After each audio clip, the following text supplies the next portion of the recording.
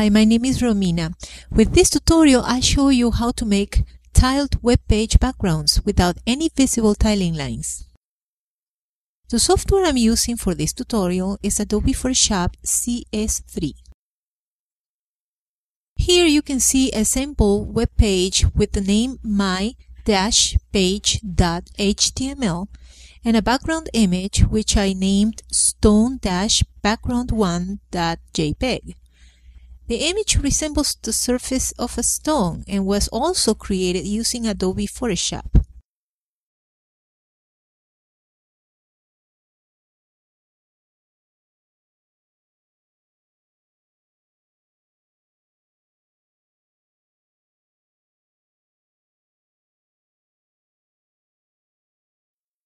This is the sample web page with a tiled background image and visible tiling lines. As you can see, those lines don't look so good there. We need to get rid of them. Let me show you how. The first thing we need to do is open up the image in Photoshop by selecting File, Open from the menu bar.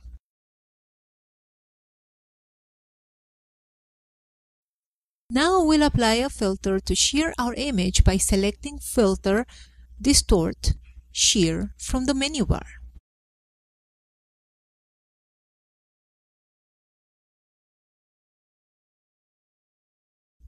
Move the top and bottom dots all the way to the right.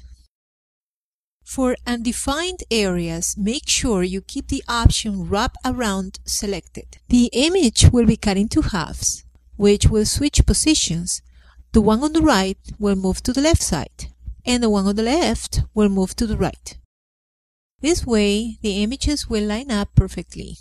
The tiling line has been moved to the middle and I'll show you later how to remove that line. Now we need to repeat this process with the top and bottom sides of the image. The shear filter only works from left to right, so we will have to rotate the image first. From the menu bar, click on Image, rotate canvas 90 degrees CW, which means clockwise.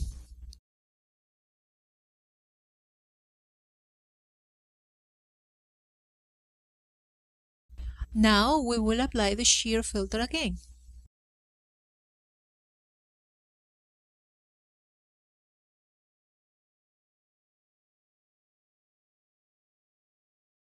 This time we will not need to move the dots to the right. Photoshop will remember the settings we used for this filter the first time, so we'll just click on OK. Select the Clone Stamp tool and alt-click somewhere not so close to the crossing lines in the middle.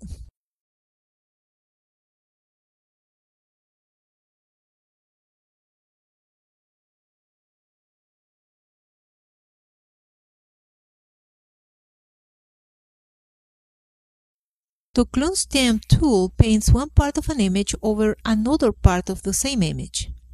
Positioning the pointer in any open image and alt-clicking sets the sampling point or the origin of the tool.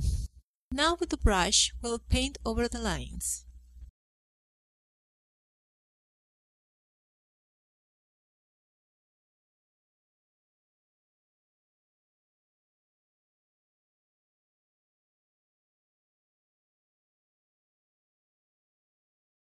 The clone brush tool will then duplicate whatever is at the origin. The origin follows the movements of the brush. Let's say you paint from left to right. The origin will move from left to right too.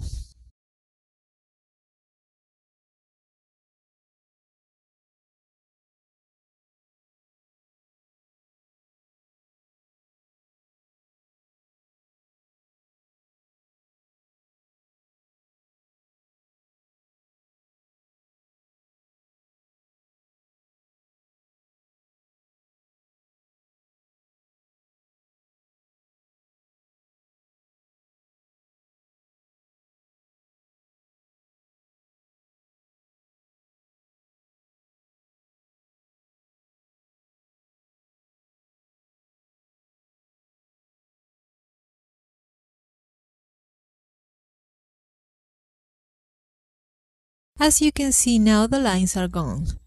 It's time to save our file by going to File, Save from the menu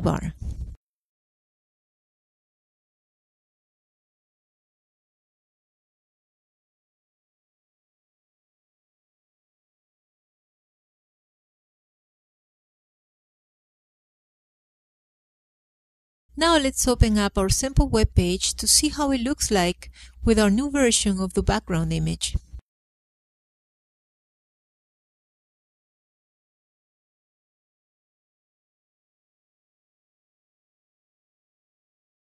This is how your web page will look like with a seamless background image when it's tiled. This technique can be used with a variety of textures like bricks, stones, fire, etc. I hope you have enjoyed this tutorial. If you have, please rate it and leave a comment. Thanks and happy learning!